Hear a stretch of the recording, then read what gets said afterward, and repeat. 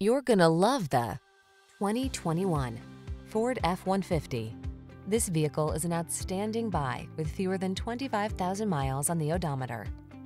Take a closer look at this full-size F-150.